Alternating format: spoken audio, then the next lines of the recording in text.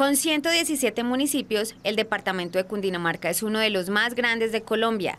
Cada uno podría representar un microclima donde se especializan diferentes modalidades de la ganadería. Las dificultades que se presentan para algunas regiones con temperaturas superiores a los 27 grados y con humedades de más del 60% han empujado a la migración de atos lecheros a atos de ceba. Los ganaderos que siguen firmes se plantean estrategias que garanticen el sostenimiento de sus producciones, como es el caso del rancho La Angostura ubicado en el municipio de Ricaurte.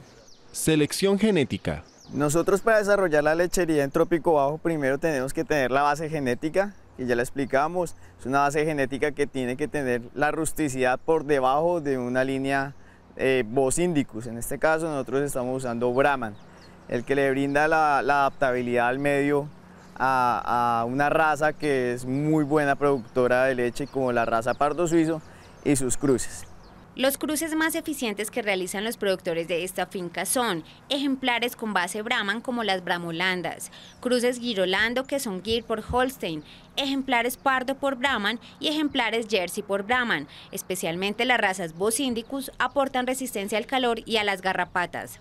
También hay que seleccionar y hacer una trazabilidad muy importante de esta, hacer registros y cada vez analizarlos una vez por lo menos al día, donde veamos qué debemos mejorar, hacer cruzamientos eh, estratégicos, esto se, puede hacer clasificando el ganado para corregir, digamos, algunas debilidades que se puedan ver, que se van a ver más notorias, digamos, que en el trópico bajo. Nutrición.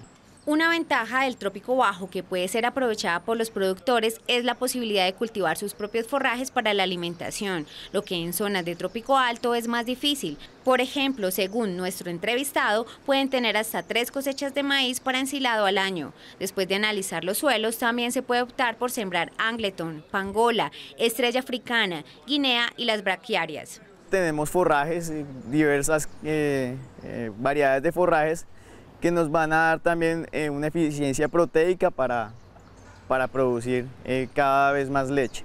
Confort animal. Los animales del rancho son levantados en métodos de estabulación, con camas compostadas y con un sistema de ventilación integrado, lo que evita el estrés calórico. Las razas adaptadas a las condiciones climáticas colombianas pueden llegar a soportar hasta los 39 grados centígrados. Con presencia de estrés calórico, su temperatura corporal puede aumentar hasta 4 grados más. Factores externos pueden agravar o mitigar los síntomas como la humedad de la región y la presencia de vientos y algunos aspectos propios del bovino como la raza, la edad, la condición corporal y el color y diámetro del pelaje. Para desarrollar una lechería de este tipo lo que se necesita es constancia, se necesita análisis de registros, cada día buscar la mejora en cuanto a genética, en cuanto a condiciones del animal. Eh, nosotros con la sola implementación de bienestar animal hemos logrado dos litros eh, de más en el promedio productivo de cada vaca. En solo genética también hemos tenido un gran incremento, hemos tenido eh, mejores ubres, mejores clasificaciones de ubres, mejores clasificaciones de estructuras. Finalmente, llevar registros organizados de cada actividad en el hato le permite apuntar a las estrategias con mayor eficacia, al mejoramiento genético, a la nutrición y al manejo sanitario y bienestar de los ejemplares.